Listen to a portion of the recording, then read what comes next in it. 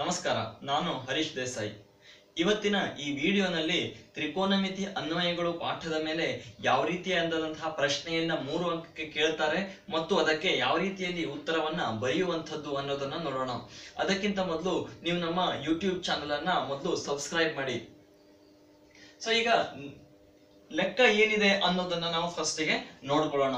ನದಿಗೆ ಕಟ್ಟಲಾದ ಸೇತುವೆಯ ಮೇಲಿನ ಒಂದು ಬಿಂದುವಿನಿಂದ ನದಿಯ ಎರಡೂ ಪಾರ್ಶ್ವದ ದಡಗಳನ್ನು ನೋಡಿದಾಗ ಉಂಟಾದ ಅವನತ ಕೋನಗಳು ಕ್ರಮವಾಗಿ ಮೂವತ್ತು ಮತ್ತು ನಲವತ್ತೈದು ಡಿಗ್ರಿ ಆಗಿವೆ. ಸೇತುವೆಯು ದಡದ ಮೇಲಿನಿಂದ ಮೂರು ಮೀಟರ್ ಎತ್ತರದಲ್ಲಿದ್ದರೆ ನದಿಯ ಅಗಲವನ್ನು ಕಂಡುಹಿಡಿಯಿರಿ ಅಂತ ಕೇಳಿದ್ದಾರೆ. ಸೊ ಇಲ್ಲಿ ಮೊದಲು ಕೊಟ್ಟಿರುವಂತಹ ಅಂಶಗಳು, ಅಂದ್ರೆ ನದಿಗೆ ಕಟ್ಟಲಾದ ಸೇತುವೆಯ ಮೇಲಿನ ಒಂದು ಬಿಂದುವಿನಿಂದ ನದಿಯ ಎರಡೂ ಪಾರ್ಶ್ವದ ದಡಗಳನ್ನು ನೋಡಿದಾಗ ಅಂದ್ರೆ ಒಂದು ನದಿಗೆ ಸೇತುವೆಯನ್ನ ಕಟ್ಟದ ಈಗಾಗಲೇ ಇಲ್ಲಿ ಒಂದು ಚಿತ್ರವನ್ನ ಬಿಡಿಸಿದ್ದೇನೆ. ಸೊ ಇದು ಬಿಸಿ ಒಂದು ನದಿಯ ಅಗಲ, ಇಷ್ಟು ಅಗಲದ ಒಂದು ನದಿ ಇದೆ. ಯಾವುದು? ಬಿಸಿ ಎಷ್ಟು ಅಗಲದ ಒಂದು ನದಿ ಇದೆ. ಮತ್ತು ಅದಕ್ಕೆ ಏನ್ ಮಾಡಿದರೆ ಒಂದು ಸೇತುವೆಯನ್ನ ಕಟ್ಟಿದ್ದಾರೆ. ನಾನು ಇದಕ್ಕೆ ಇ ಮತ್ತು ಎಫ್ ಅಂತ ಹೆಸರನ್ನ ಕೊಟ್ಟಿದ್ದೇನೆ. ಇ ಎಫ್ ನ ಒಂದು ಸೇತುವೆಯನ್ನ ಕಟ್ಟಿದ್ದಾರೆ. ಸೊ ಉಂಟಾದ ಅವನತ ಕೋನಗಳು, ಅಂದ್ರೆ ಸೇತುವೆಯ ಮೇಲಿನ ಒಂದು ಬಿಂದುವಿನಿಂದ ನದಿಯ ಎರಡೂ ಪಾರ್ಶ್ವದ ದಡಗಳನ್ನು ನೋಡಿದಾಗ, ಸೇತುವೆಯ ಮೇಲಿನ ಯಾವುದಾದ್ರೂ ಒಂದು ಬಿಂದು ಎ ಅನ್ನ ನಾನು ಗುರುತಿಸ್ಕೊಳ್ತೇನೆ. ಸೊ ಈ ಎ ಬಿಂದುವಿನಿಂದ ಆ ನದಿಯ ದಡದ ಎರಡೂ ಕಡೆಯ ದಡವನ್ನ ನಾವು ನೋಡಿದಾಗ, ಒಂದು ದಡ ನಮಗೆ ಮೂವತ್ತು ಡಿಗ್ರಿಯಲ್ಲಿ ಇನ್ನೊಂದು ದಡ ನಮಗೆ ನಲವತ್ತೈದು ಡಿಗ್ರಿ ಅವನತ ಕೋನದಲ್ಲಿ ಗೋಚರ ಆಗತ್ತೆ. ಸೊ ಸೇತುವೆಯ ದಡದ ಮೇಲಿನಿಂದ ಮೂರು ಮೀಟರ್ ಎತ್ತರದಲ್ಲಿದ್ದರೆ, ಈ ಸೇತುವೆ ಎಷ್ಟು ಎತ್ತರ ಇದೆ? ನದಿಯ ನೀರಿನ ಮಟ್ಟದಿಂದ ಮೂರು ಮೀಟರ್ ಎತ್ತರದಲ್ಲಿದೆ. ಸೊ ಇದು ಮೂರು ಮೀಟರ್ ಎತ್ತರದಲ್ಲಿ ಇದೆ. ಹಾಗಾದ್ರೆ ನಾವೇನ್ ಮಾಡ್ಬೇಕು? ನದಿಯ ಅಗಲವನ್ನ ಕಂಡುಹಿಡಬೇಕು ನದಿಯ ಅಗಲ ಯಾವುದು? ಬಿ ಸಿಯನ್ನ ಕಂಡುಹಿಡಿಬೇಕು ಸೊ ನದಿಯ ಅಗಲ ಬಿ ಸಿ ಬಿ ಸಿಯನ್ನ ಕಂಡುಹಿಡಿಬೇಕಂತಂದ್ರೆ ಯಾವ್ಯಾವ್ದನ್ನ ಕಂಡುಹಿಡ್ಕೊಳ್ಬೇಕು B D plus D C B ಮತ್ತು ಡಿ ಸಿ ಅನ್ನ ಕಂಡುಹಿಡ್ಕೊಂಡ್ರೆ ನಾವೇನ್ ಮಾಡಬಹುದು ಅವೆರಡನ್ನ ಕೂಡಿಸಿ ನದಿಯ ಅಗಲ ಬಿ ಸಿ ಅನ್ನ ನಾವು ಕಂಡುಹಿಡಿಬಹುದು. ಸೊ ಇದನ್ನ ಯಾವ ರೀತಿಯಲ್ಲಿ ನಾವು ಮಾಡಬಹುದು ಅನ್ನುವಂಥದ್ದು. ಈಗ ನಮಗೆ ಇ ಎ ಬಿ ಕೋನವನ್ನ ಕೊಟ್ಟಿದ್ದಾರೆ. ಈ ಕೋನವನ್ನ ಕೊಟ್ಟಿದ್ದಾರೆ. ನಾನು ಇಲ್ಲಿ ಕೋನ ಬಿ ಅನ್ನ ನಾನು ಮೂವತ್ತು ಡಿಗ್ರಿ ಅಂತ ಬರ್ಕೊಳ್ತೇನೆ. ಯಾಕೆ ಅದು ಮೂವತ್ತು ಡಿಗ್ರಿ ಅಂತಂದ್ರೆ ಇ, ಎಫ್ ಮತ್ತು ಬಿ ಸಿಗಳು ಏನಾಗಿವೆ? ಪರಸ್ಪರ ಸಮಾಂತರ ರೇಖೆ ಆಗಿದೆ ಮತ್ತು ಎ, ಬಿ ಏನಿಲ್ಲಿ? ಒಂದು ಛೇದಕ. ಇ, ಎಫ್ ಮತ್ತು ಬಿ ಸಿಗಳು ಎರಡು ಸಮಾಂತರ ರೇಖೆಗಳು ಮತ್ತು ಎ, ಬಿ ಒಂದು ಛೇದಕ. ಹಾಗಾಗಿ ಇದು ಮೂವತ್ತು ಡಿಗ್ರಿ ಇದೆ. ಇದು ಕೂಡ ಎಷ್ಟಾಗತ್ತೆ? ಮೂವತ್ತು ಡಿಗ್ರಿ. ಯಾಕಂತಂದ್ರೆ ಪರ್ಯಾಯ ಕೋನಗಳು. ಸೊ ಹಾಗೆ ಇದು ಮೂವತ್ತು ಡಿಗ್ರಿ ಇದೆ. ಇದು ಕೂಡ ಎಷ್ಟಾಗತ್ತೆ? ಮೂವತ್ತು ಡಿಗ್ರಿ ಆಗತ್ತೆ. ಅದೇ ರೀತಿಯಲ್ಲಿ ಈ ಕಡೆಗೆ. ಇ ಎಫ್ ಮತ್ತು ಬಿ ಸಿಗಳು ಸಮಾಂತರ ರೇಖೆಗಳು. ಇಲ್ಲಿ ಎ ಸಿ ಛೇದಕ, ಇಲ್ಲಿ ಯಾವುದು? ಎ ಛೇದಕ. ಈ ಎರಡು ಪರ್ಯಾಯ ಕೋನಗಳು ಏನಾಗಿರ್ತವೆ? ಸಮನಾಗಿ ಇರ್ತವೆ. ಆ ಕಡೆಗೊಂದು, ಈ ಕಡೆಗೊಂದು ಇರುವಂತಹ ಪರ್ಯಾಯ ಕೋನಗಳು ಪರಸ್ಪರ ಸಮ. ಹಾಗಾಗಿ ಕೋನ ಸಿ ಕೂಡ ಎಷ್ಟು? ನಲವತ್ತೈದು ಡಿಗ್ರಿ. ಈ ನಮ್ಗೆ ನದಿಯ ಎತ್ತರವನ್ನು ಕೊಟ್ಟಿದ್ದಾರೆ. ಎಷ್ಟು? ಎಡಿ ಸಮ ಎಷ್ಟು? ಮೂರು ಮೀಟರ್. ಸೊ ನಾವೀಗ ಎ ಡಿ ಅನ್ನ ಇಟ್ಕೊಂಡು, ತ್ರಿಭುಜ ಎ ಡಿ ಬಿ ತಕೊಂಡು ಬಿ ಡಿ ಅಳತೆಯನ್ನ ಕಂಡುಹಿಡಿಬಹುದು. ಹೇಗೆ ಹೇಳ್ರಿ? ಇದು ಎ ಡಿ ಏನಾಗಿರುತ್ತದೆ? ಅಭಿಮುಖ ಬಿ ಡಿ ಏನಾಗಿರುತ್ತೆ? ಪಾರ್ಶ್ವ. ಸೊ ಹೌದಲ್ವಾ? ಟ್ಯಾನ್ ತೀಟವನ್ನ ತಕೊಂಡು ನಾವು ಎ ಡಿ ಬೆಲೆಯನ್ನ ಕೊಟ್ಟಿರ್ತಾರೆ. ನಾವು ಬಿ ಡಿ ಅನ್ನ ಕಂಡುಹಿಡಿಬಹುದು. ಅದೇ ರೀತಿಯಲ್ಲಿ ಇಲ್ಲಿ ತ್ರಿಭುಜ ಎ ಡಿ ಸಿ ಯಲ್ಲಿ ಎ ಡಿ ಅಳತೆ ಕೊಟ್ಟಿದ್ದಾರೆ. ಡಿ ಸಿ ಅಳತೆಯನ್ನ ಕಂಡುಹಿಡಿಬಹುದು. ಇಲ್ಲಿ ನಲವತ್ತ, ನಲವತ್ತೈದು ಡಿಗ್ರಿ ಆಗಿರೋದ್ರಿಂದ ಇಲ್ಲಿ ಅಭಿಮುಖ ಎಷ್ಟು ಡಿಗ್ರಿ, ಎಷ್ಟು ಉದ್ದ ಇದೆಯೋ ಅಷ್ಟೇ ಪಾರ್ಶ್ವದ ಅಳತೆ ಬರುತ್ತೆ. ಅಂದ್ರೆ ಇದು ಮೂರ್ ಸೆ, ಮೂರ್ ಮೀಟರ್ ಇದೆ, ಡಿ ಸಿ ಕೂಡ ಎಷ್ಟು ಬರುತ್ತೆ? ಮೂರ್ ಮೀಟರ್ ಅನ್ನುವಂಥದ್ದು ಬರುತ್ತೆ. ಸೊ ಅದನ್ನ ಯಾವ ರೀತಿಯಲ್ಲಿ ಮಾಡುವಂಥದ್ದು? ತ್ರಿಭುಜ, ನಾನು ಮೊದಲಿಗೆ ತ್ರಿಭುಜ ಎ ಬಿ ಡಿ ಅನ್ನ ತಗೊಳ್ತೇನೆ. ತ್ರಿಭುಜ ಎ ಡಿ ಬಿ ತ್ರಿಭುಜ ಎ ಡಿ ಬಿ ಯಲ್ಲಿ ಕೋನ ಬಿ ಸಮ ಎಷ್ಟು? ಮೂವತ್ತು ಡಿಗ್ರಿ.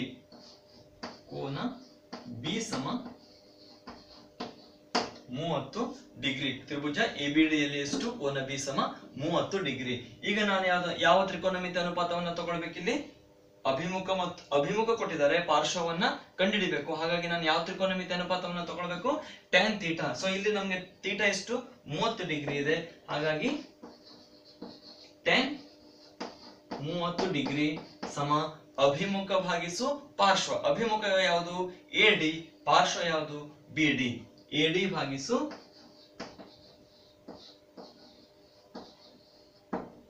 ಎ ಡಿ ಭಾಗಿಸು ಬಿ ಡಿ.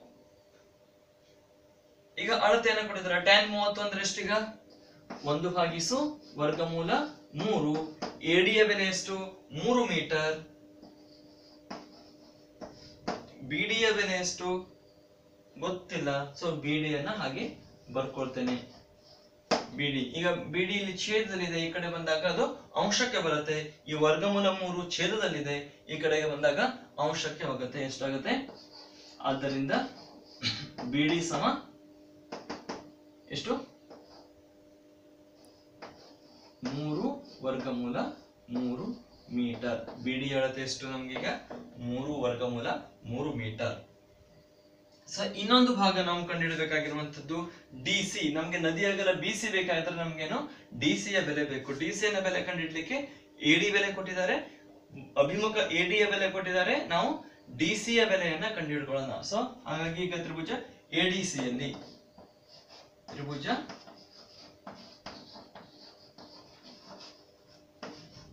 ಕೋನ್ ಸಿ ಸಮ ತ್ರಿಭುಜ ಎಡಿಸಿ ಯಲ್ಲಿ ಕೋನ್ ಸಿ ಸಮ ಎಷ್ಟು? ನಲವತ್ತೈದು ಡಿಗ್ರಿ. ಈಗ ನಾನು ಯಾವ ತ್ರಿಕೋನಮಿತಿ ಅನುಪಾತವನ್ನು ತಗೊಳ್ಬೇಕು ಮತ್ತೆ ಇಲ್ಲಿ? ಅಭಿಮುಖ ಕೊಟ್ಟಿದ್ದಾರೆ. ಪಾರ್ಶ್ವವನ್ನ ಕಂಡುಹಿಡಬೇಕು ಅಂದ್ರೆ ಟ್ಯಾನ್ ನಲವತ್ತೈದು. ಟ್ಯಾನ್ ನಲವತ್ತ ಐದು ಡಿಗ್ರಿ. ಟ್ಯಾನ್ ಅಂತಂದ್ರೆ ಅಭಿಮುಖ ಭಾಗಿಸೋ ಪಾರ್ಶ್ವ. ಅಭಿಮುಖ ಎಡಿ ಪಾರ್ಶ್ವ ಡಿ ಸಿ ಎ ಬಿ